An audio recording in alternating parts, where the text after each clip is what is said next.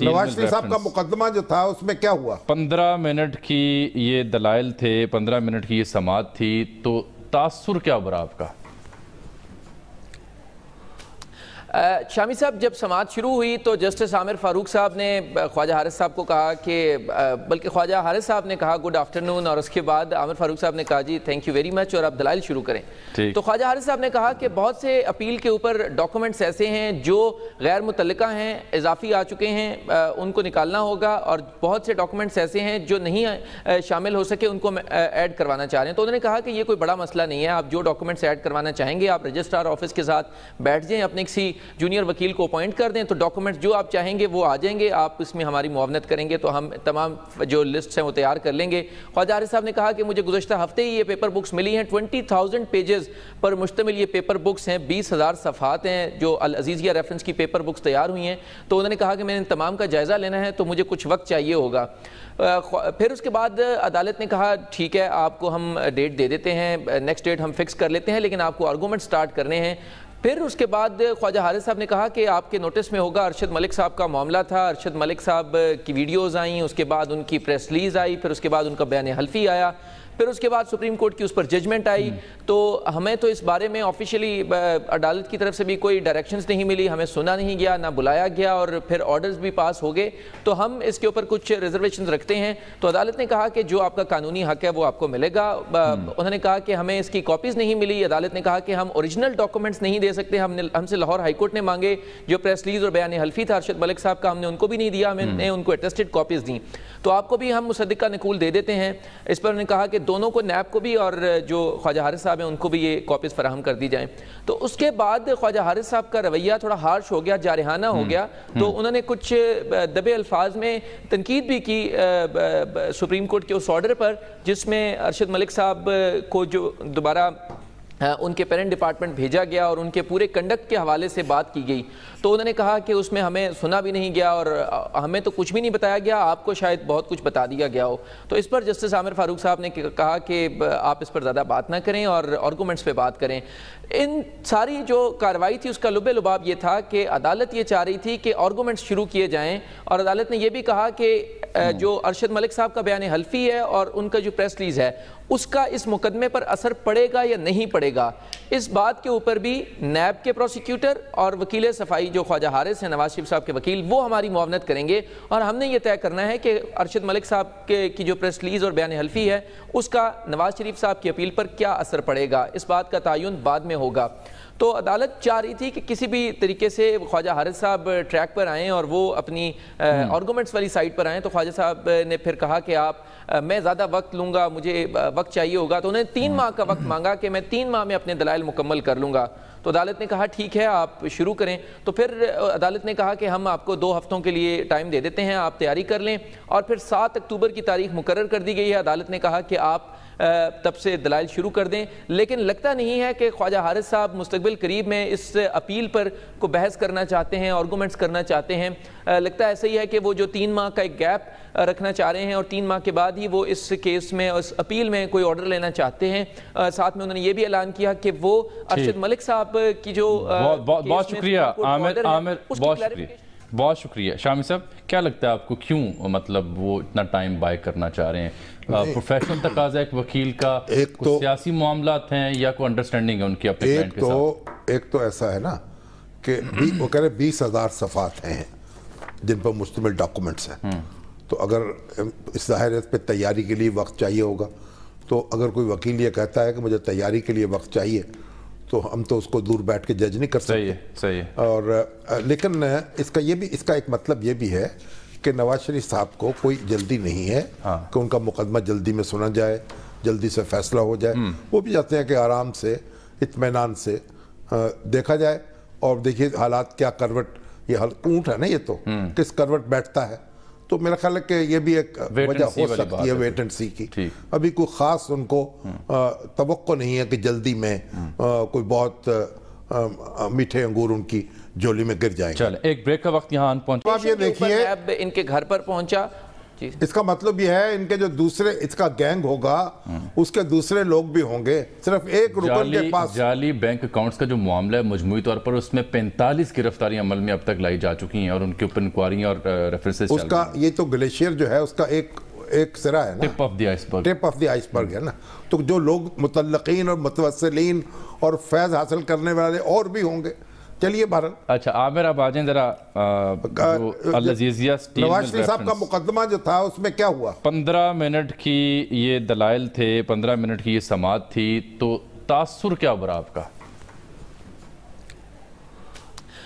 شامی صاحب جب سماعت شروع ہوئی تو جسٹس عامر فاروق صاحب نے خواجہ حارث صاحب کو کہا کہ بلکہ خواجہ حارث صاحب نے کہا گڈ آفٹرنون اور اس کے بعد عامر فاروق صاحب نے کہا ji thank you very much اور آپ دلائل شروع کریں۔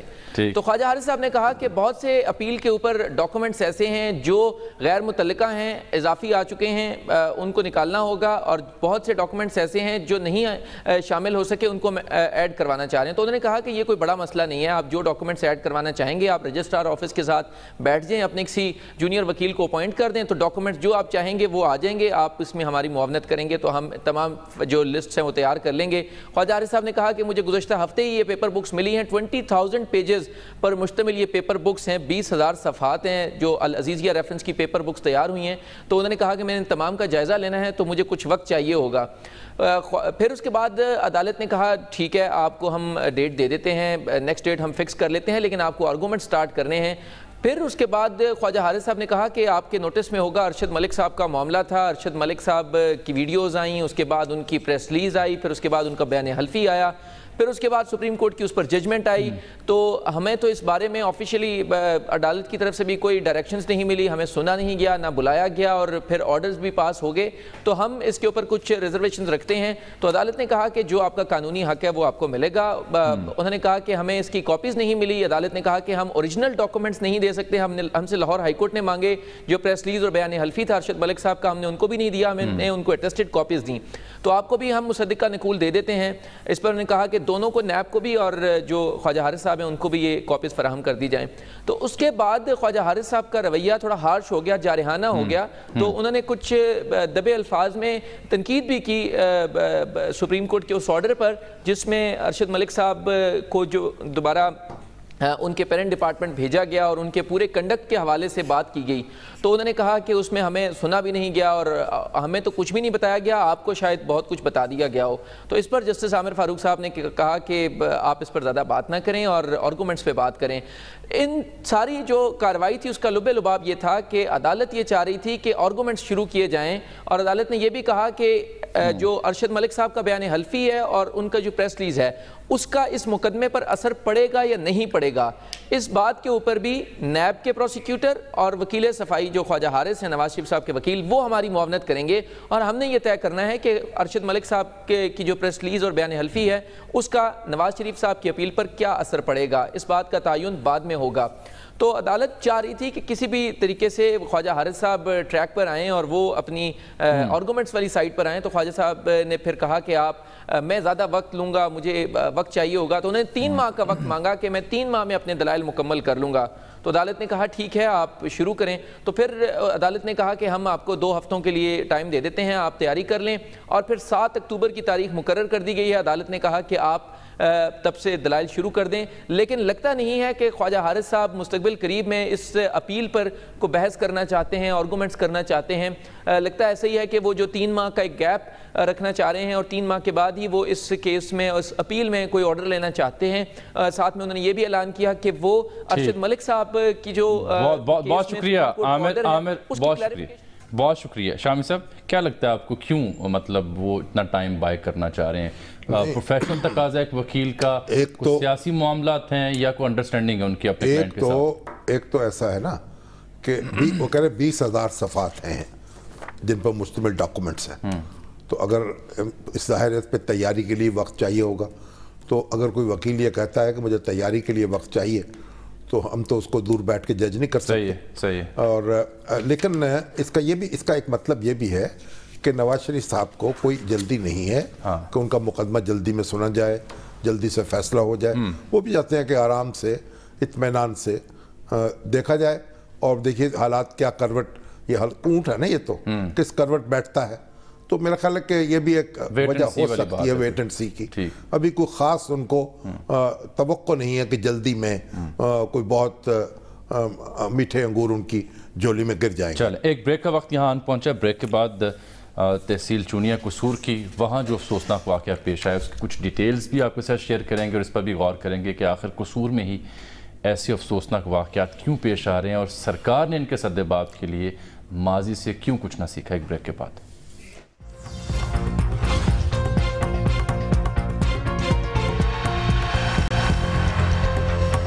ویلکم بیک ناظرین چونیا تحصیل قصور کی یہاں شامی صاحب ہر طرف سناٹا ہے اور خوف کے سائے ہیں.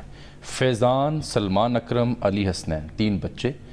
اور دس اگست کو شام پانچ بجے سلمان نامی بچہ جو دوسری جماعت کا طالب علم تھا، وہ غائب ہوا، جس کے ہفتہ دس دن بعد انہی کا ہمسایہ علی حسنین غائب ہوا، اور اس کے بعد پھر یہ فیضان نامی بچہ جو کہ امام مسجد کا بچہ ہے، یہ غائب ہوا. فیضان کی جب ڈیڈ باڈی ملی تو وہیں سے پاس سے باقیات ملی، باقی دو بچوں کی، جس سے معلوم ہوا کہ یہ کاروائی یہاں اس علاقے میں پیش آئی ہے۔ اب، اس صورتحال کے بعد ہم نے دیکھا کہ سرکار حرکت میں آئی، متعلقہ پولیس اہلکاروں کو اور تمام ذمہ دار جو اس تحصیل کے تھے ان کو معطل کیا گیا ہے۔ آئی جی پنجاب خودہ چونیے پہنچے ہوئے تھے۔ وزیر اعظم نے کل ہمارے پروگرام کے بعد ٹویٹس بھی کر رکھے تھے۔ وزیر اعلیٰ پنجاب واپس آ رہے ہیں۔ عمرے کی بعد آج رات اور وہ وہیں ایئرپورٹ پر ہی اس معاملے پر بریفنگ لیں گے۔ یہ تو ہے خلاصہ ان واقعات کا۔ یہی وہ علاقہ ہے جہاں زینب کا سانحہ پیش آیا۔ جی اور یہی یہی وہ علاقہ ہے وہ جو جس پہ متعدد بچوں کے ساتھ بد اخلاقی کے اور جی۔ زیادتی کے جی۔ اکثر واقعات رپورٹ ہوئے۔ جی۔ اور وہ جو کئی کئی وارداتوں کے ملزم جو ہیں مجھے وہ بیل کرا کے واپس بھی آ چکے ہیں۔ جی جی۔ مقدمے ان پر ہاں۔ چلنے تو کجا ہے سزا ملنی تو کجا ہے۔ لیکن اصل بات یہ کہ جب بھی کوئی واقعہ ہوتا ہے اس پہ ہنگامہ اٹھایا جاتا ہے۔